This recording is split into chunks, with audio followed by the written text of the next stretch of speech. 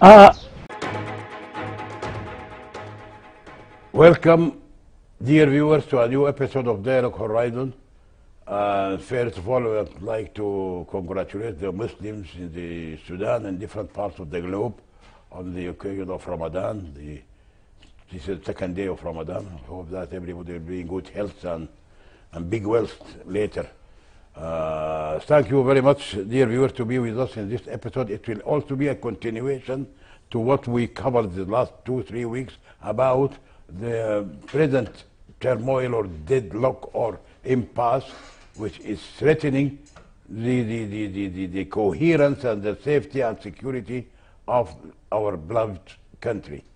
Uh, that's why we are always happy to host our friend who is specialized mainly in conflicts and resolution of conflicts, our Professor Manzoor Abdullah Manzoor. He is a professor in the University of Khartoum, as uh, we told you before, and he used to be the uh, director of the Peace Research Institute of the University of Khartoum, and he's very much concerned in the peace and researches and conflict resolution in different parts of the globe with affiliation to many different different global uh, institutions working in the same area. Welcome, dear Professor Manzoor Abdullah Manzoor. Thank you, Omar, and I wish our uh, viewers a blessed Ramadan. Thank you very much. First, as, as, as, we, as we started, we covered last week also, we have still, the, the situation is still, still that is still uh, in the same, remains the same state, the same stalemate is not yet resolved, and nothing appears in the horizon, appears in the, although, that's what my first question about, some, some, I call it some uh, sentimental or emotional dates were put to touch the emotions of me. But anyhow, we'll cover this. The dates, which the three dates put for the for the whole resolution of the the. the. So last week, the beginning of last week, the president of the Supreme Council as the army commander and his deputy commander of the rapid support forces, they jointly held a meeting with the uh, framework framework uh, members of, of the Freedom and Forces, the council, Central Council, and after that also the, the, the, the after one day the, the deputy, the uh, MAT also held another meeting with similar people, but not those who signed the, the, the, the framework agreement. And they all reached, and it was announced that by the spokesman of the framework uh, activities, uh, saying that they finally agreed to and assigned, assigned the 1st of April as the date uh, of, of, of, of signing the final agreement. The 6th of April is the constitutional document or constitution, traditional constitution. On the 11th, the formation of the government. My question is that it seems that from, from, from the dates, as, as I started, something emotional because when you talk about 1st of April, it means a lot to the revolutionaries. 6th of April is the date of the, uh, uh, sit-in, and 11th October is the takeover on the hosting of the regime. So they put the, the, they emphasize, they concentrated on picking, this is my opinion, picking, picking very emotional dates, sentimental dates, whereas it should have been done according to the task and to the, what is remaining. Because they might fail to, to meet the, the, these dates. Anyhow, this is my opinion. Well- How can you assess Well? I think first, first uh, I, uh, I am still a bit optimistic, and I don't see things as stalled as they used to be before the uh, meetings that you mentioned. Uh, yes, there were a couple of meetings where uh, the signatories to the framework agreement, including the military component, reiterated their commitment to the process, and they appeared uh, to be determined to, to reach the final political settlement. Uh, and yes, I put uh, some dates, and to me, uh, this is uh, too optimistic. It's highly unlikely that they would be able to meet these deadlines, the 1st of April, and the 6th of April, and the 11th of April. Uh, uh, yes, we saw that a committee has already been formed Yes. to uh, uh, uh, work out the details of the political declaration that's going to be signed. The committee has already started meeting. I think they met yesterday uh, in, the, in, the, in, the, in the morning, and then they had another meeting in the evening. I, I, and I, I assume that today they also held the morning meeting, and they will hold uh, they will they will hold the, another uh, meeting during the evening. That's what, what they said in the statement that followed the meeting which was held yesterday. Uh, so things are moving, uh, uh, and eventually an agreement will be signed. There's no there's no doubt about this. Whether the, the, the, tho- those who still oppose the process uh, continue to oppose it or, or join or not, there will be a political settlement. This is something that is now being s- settled. There's no uh, uh, uh, you No know, waiting for no, any other to no, join. No, no, no. They will, they will reach a settlement. Whether they will reach that uh, on the 1st of April or the 6th or 11th, that's, a, that's another question. But a political settlement is on the horizon. Yeah. And now the problem is not only uh, signing the political settlement, which is going to happen anyway. The problem is how to select the prime minister and the cabinet. That is going to be The the key problem because as we speak, we don't know any criteria that was developed as to how they could pick the PM and how the PM could pick his, his cabinet members. All these issues are not settled. People are still wrangling whether they would have a, a, a technocrat as cabinet members or whether uh, uh, the PM and his cabinet could be uh, coming from political parties. All these issues are not settled yet. And I think this is one of the things that would complicate the, for, the formation of the, of the civilian led government. If you, if, you, if you are about to reach a political settlement and you're not clear whether the government is going to be uh, made up of technocrats or, of, or, or of politicians, and you don't know the criteria of, of selecting the prime minister and, and, the, and his members, and you are also not uh, in agreement as to who should have the right to nominate or choose a prime minister. All these are very sticky and difficult questions, and I said we don't have any answer for them. So yes, they put dates, they formed a committee, the committee already started meetings, but I, I have my doubts that they would, They meet the dates. I, I doubt very much, But because time is running fast. Professor, it seems that out from what you said, from what I'm following, is that what is what is really seriously jeopardizing or impeding the process is some vested interest of civilians and military. Both of the, each, each of them, but they don't want to say it. Civilians, in my mind, the small parties, the parties of the hosted, the, the, the, the dissolved government by, by, by Burhan on the 25th of October, they want to repeat the same scenario. The four parties, small parties, with the armed struggle uh, leaders, the same, the same, the same. Well, unfortunately, unfortunately, this is what it seems like. It Seems is, like, yes. you know. And again, as I just mentioned, as yet we are not certain whether we will have a government that's made up of technocrats or whether we have a cabinet that's made up of politicians.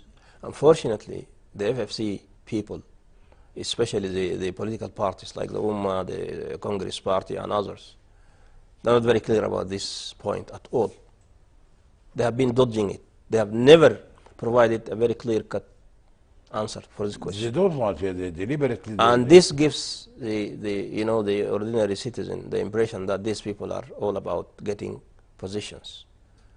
And this way, they are going to repeat the same mistakes same mistake. that BC, the, the previous government.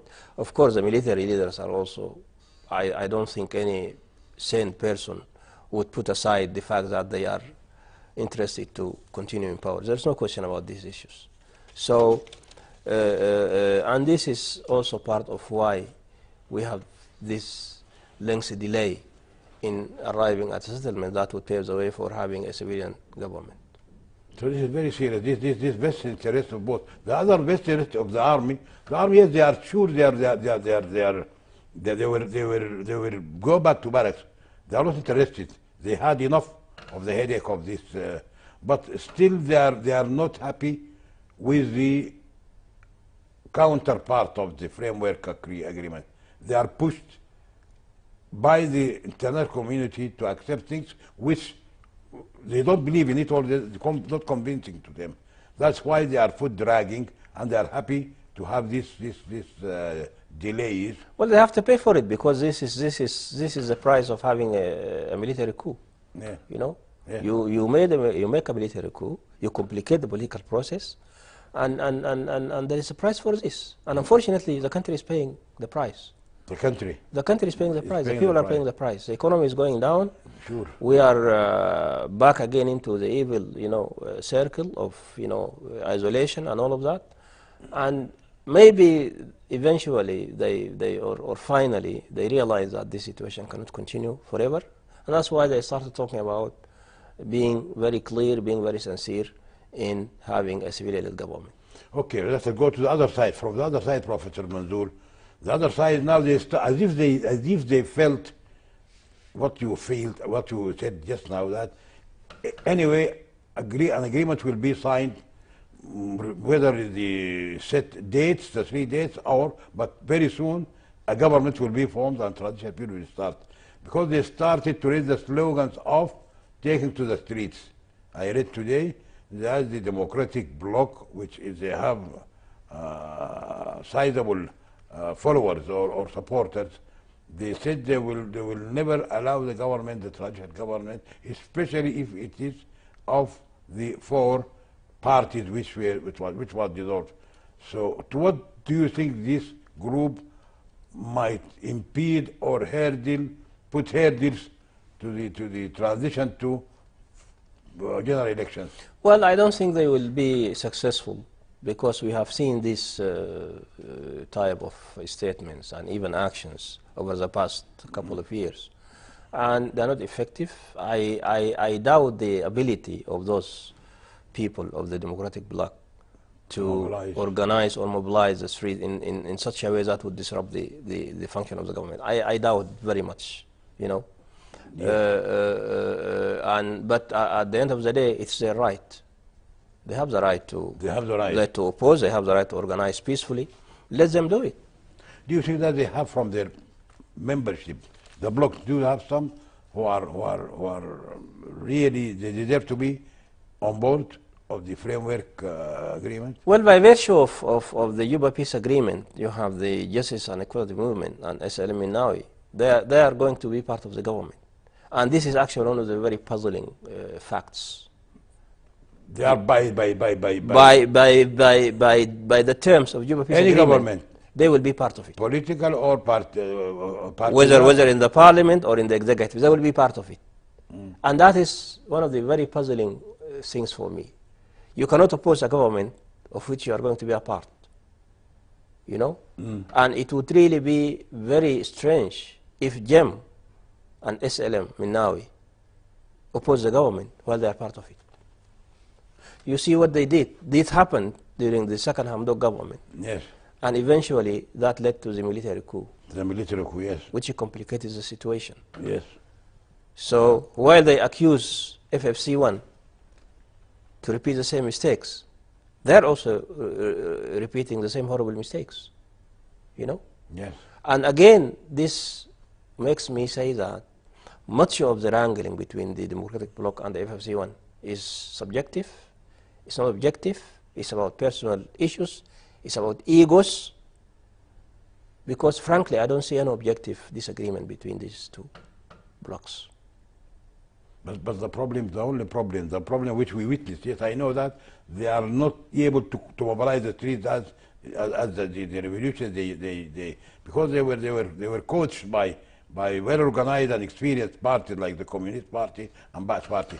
This, they failed. Even they failed many times. Even the sitting around the palace, they failed to, to, to, to make a pressure. But the problem is that the backing of the, the, the, the clandestine, actually the, the, the, the, the, the hidden backing of the military component to these people.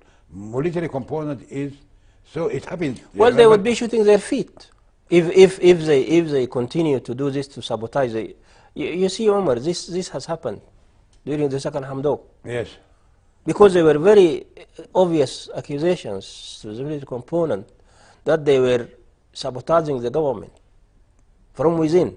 yes, And I, it would be very strange and, and, and, and, and, and, and, and unbecoming if they continue to do the same for the coming government. Because this will create problems for, for themselves. From the international community. Absolutely. So I think, I think, and again, I think in the, in the last episode we said that the possibility for this political deal to go forward and succeed depends mainly on the sincerity and the political will of the signatories, including the military component. So if they are going to sign a, a settlement that they are going to sabotage from within, why are they going to sign it from the beginning? Because they are they're, held, they're uh, on twisted hand.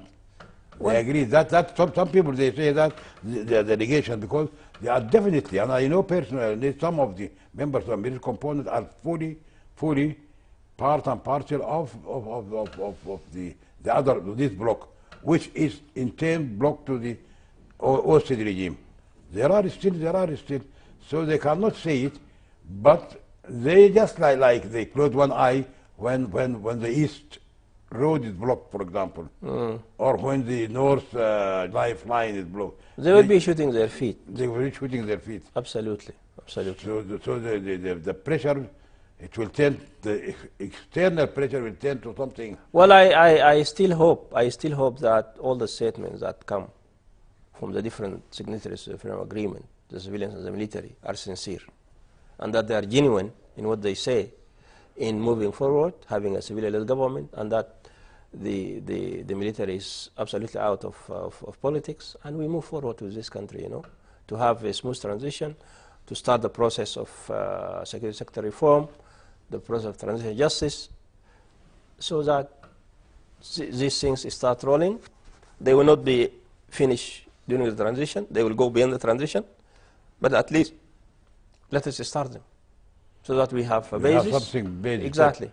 We base on that and we move forward. Okay, some people they talk just in case, just in case if the dates, the three dates of the April dates, the first week of April, these three dates, but if it did not, it didn't work and failed. Some people are talking about a caretaker government. Now this, this, the, the situation now, we are in a caretaker government. Absolutely. Uh, it doesn't make any sense. What, what There's no point. There's no point in appointing a caretaker government It because, is because we have a, a caretaker government since October 25th, Yes, yes. 2021. Yeah. So there's no point. No point, there is There's no point. I yeah. see no, point why no. people... No, even if even if the political process is delayed, even if they fail to meet the deadline, I think the process should continue, so that they, they have an agreement and, uh, and form a, a, government that is legitimate by, Yes. by the terms of the By agreement. same term, but but if no no no need to the terms should go for other option No. which is already prevailing which is the the, the, the caretaker government is doing the, It's- according it is doing well it is doing as long as the, what is available to their in their hands they are they are they, they are they are the top civil service uh, people actually they are all they are running the show That's right. for in, in all different regimes not True. the ministers True. so this is a caretaker government It is. It is. so It no is. point to talk There's about no point to talk about another, another, another, solution. Yeah, no, no, it can't. It can't. It can't. It can't. Okay. Some people they talk when when when when they when they talk about about uh, parties. It seems from from what you said that you are not for uh, repeating the same mistake of only four parties or political parties. But what is really mm, mixing the thing is the Juba agreement. That's what I hear. Because the first government, the, the, the, the, the, reason for the inclusion of the, the four parties in the second government, that because as long as uh, Jibril and Minawi and other, uh, the, the, the, the, according to Juba agreement, they, they are going to join the government, why not Yeah, you see, that is, that is what we have been repeating all the time, that the, the, the, the, the liberal peace framework is a big failure. It's failed many times before, and it will not succeed at all. I am completely against giving uh, ex-rebels political positions. This should have, should have never been actually allowed in the agreement. People should talk about issues. about Now, issues? now let us look at the example of the FARC in Colombia. Let us look at what happened in the Tigray region. When the government reached an agreement with them, there are no positions, Yes. there are issues. And this should be, and actually, uh, uh, uh, Al-Hilu and Abdul Wahid are exactly saying this. That peace should not be about getting positions in the center or in the region. Exactly, It's about issues. Yes. And this is one of the mistakes that was repeated, you know. It was in the CPA, it was in Abuja, it was in the Eastern Olympic Agreement, it was in Doha, and it was repeated in Juba. Juba shouldn't have been like this. Minawi, Minawi and Jibril shouldn't have gotten positions in the government. She didn't have. No. Mm. It, it should have been about issues. And if, if it were about issues, we wouldn't have been in, in this mess that we are now You're in. right. You're right. You see? Yes. And now they're clinging into their positions. It's difficult to take them from it now. Well, the, there is an agreement. It's there. agreement. there. And that's why I said at the beginning of the episode that they are going to be part of whatever government that's to be formed. And this is very puzzling. They know damn well that they are going to be part of the government and they are opposing it. Yes. And this is exactly what they did for the second Hamdok government. Because they were part of it and they were opposing it. Because they sided with the military. Eh, When they, uh, you know, went to the sit in, in front of the, of the, of the palace and, and, and the military coup took place. They, are, they, they never learn from the mistakes. They are not learning from No, their mistakes. unfortunately. And, and now, uh, retrospectively, when I look at Juba Peace Agreement, I see it as a big mistake.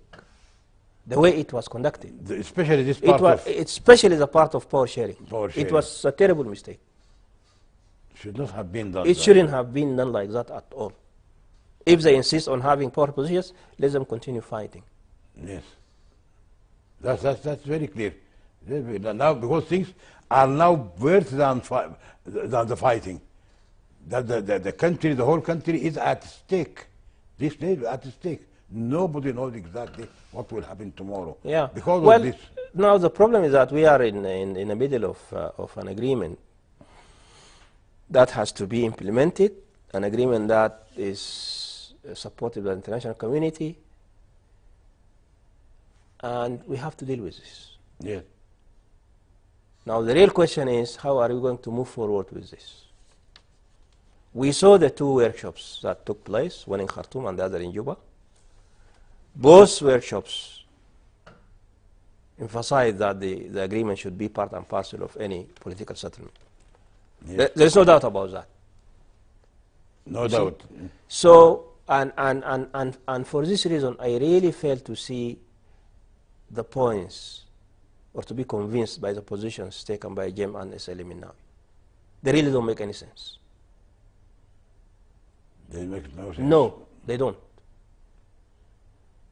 And I kept saying this all the time that you are here by virtue of Peace Agreement that has clearly stated the kind of positions you're going to have, the kind of financial obligations and liabilities, and all, all of that. Well, of course, much of this didn't take place, but at least the part of power sharing was done. And you are here by virtue of that. Yes, it's very bad. So, what is the point? power sharing. Now they are taking us to this path. Okay, we have another mud- mud- muddy issue because we have this episode is in Ramadan a little bit short. We have the people that are talking, the military they are talking about the framework agreement. It, it, it clearly stated that there should be one army. The rapid support force should be integrated, although it is part, it is an army, not militia. It is a, an army which is formed by a, a law part of the mil- military uh, composition of the country. So some people are talking about the integration. The army top brass, Burhan, and uh, the others, they are also worried about the uh, rapid support force. They want to integrate it, especially after the leader of the rapid support force, uh, Dagalo Ham- took side with the revolutionaries in the framework agreement, and he's now fully supporting this agreement. So it, it, as if became on the other side of the Yeah, but the army, is bank. the army is also part of the framework agreement. Yeah. Burhan signed it. Okay, but what, what's what- the point? Why, why, why they are mentioning it to the civilians like us? This is a highly technical process. I know. Why- I why know. You know, the whole thing, the whole set, set, setup is really very strange. It doesn't make any sense. Yeah. Because the army, represented by the chairman of the Southern Council and Commander in Chief, Eh? was signatory to the, to the free agreement. Eh. He made two signatories of the agreement. Yeah. And in that agreement, it was very clearly mentioned that there would be integration of the Arab support forces and that we will have one professional army. So who is the problem? No problem. Why they are mentioning it? Why are they mentioning it? it, it, it's the civilian civilian rallies in the civilian rallies they mention this it's not this is not It doesn't make any sense. No you know? sense. It doesn't make any sense. But you know, I, one one good thing is that the, the, the two leaders met eventually, Mm. and as, as as far as I can see, they seem to have put this on their back, and now they are moving forward. They are saying that we are vehemently in support of the Human agreement, and we are moving forward. So this is a good development for us. it's a good development And now they are also talking about starting the uh, security sector reform a workshop, which is the final and the Yeah. last one. It was supposed to, to start on Thursday, but they postponed it for further consultation. That's what, what transpired in the media. in the media okay yeah. But it's, it's going to take place. going to take place Uh, there might be a lot of issues, and for sure they will be, but I think they can. how long will the integration just a figure how long will it take Well, Will I, take- I, I, I saw that the army would like to see the integration takes place within three years. three years Yeah. full integration Yeah, the rapid support forces want it to be a longer, uh, uh, but I think this is a process that is not going to take place in a short time. not a short time It definitely will not be completed In the- during in the the transition. transition no. Okay. no way. no way It will take time, It is a but at long- least let us start it and then uh, work uh, hard and sincere for that, and I think we'll be there. Okay, we have we have four minutes. Professor, tell us about the outcome of the, the workshop of the transitional justice? People they want to know exactly the findings of transitional justice uh, workshop uh, of, of, of, of, of which is something uh, known uh, that nobody should should should should should be free from accountability. Yeah, yeah. I think I saw the the communique uh, or the statement that followed the thing. I think there were like 15 recommendations, and all of these recommendations emphasized uh, uh, uh, that there should be no impunity at all for crimes uh, committed, and that uh, everyone who committed a crime should be uh, held responsible, and that amnesty can only come from the victims. No one has the right to give somebody amnesty Yes. uh, if, if, if this doesn't come from the victims or their families. And also that uh, uh, uh, um, crimes will not go and unnoticed or, you know, just disappear like that. Is, is it cover, the, the whole issue? The, it's covering covering what period?